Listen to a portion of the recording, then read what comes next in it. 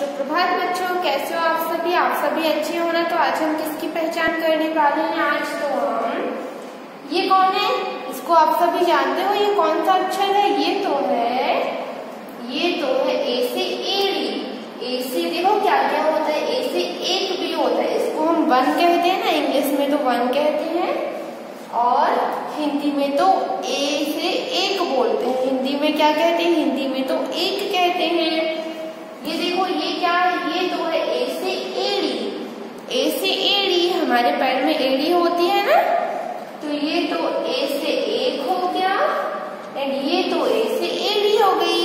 And अभी हम ए से एड़ी को बनाना सीखेंगे। तो कैसे बनाते हैं?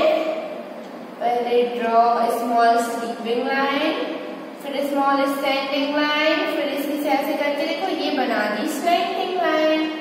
और ये फिर से स्टैंडिंग लाइन तो ये बन गया ए से ए डी अभी ए से एक बनाए।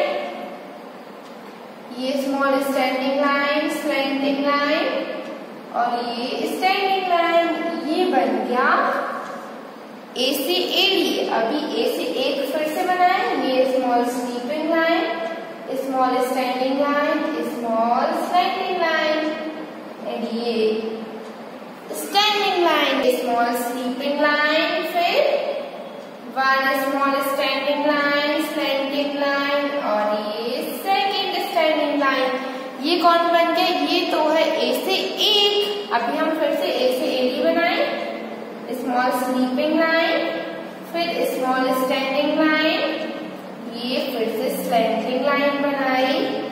और ये बना दी सेकेंड स्टैंडिंग लाइन ये कौन बन गया? ये तो बन गया ए से एक, अभी हम ए से एक बनाते हैं। तो ये स्मॉल स्टैंडिंग लाइन फिर स्लैंटिंग लाइन और ये फिर से स्टैंडिंग लाइन तो ये देखो ए से एक और ए से एडी तो इसी तरह से आपको भी लाइन करना है okay bye have a good day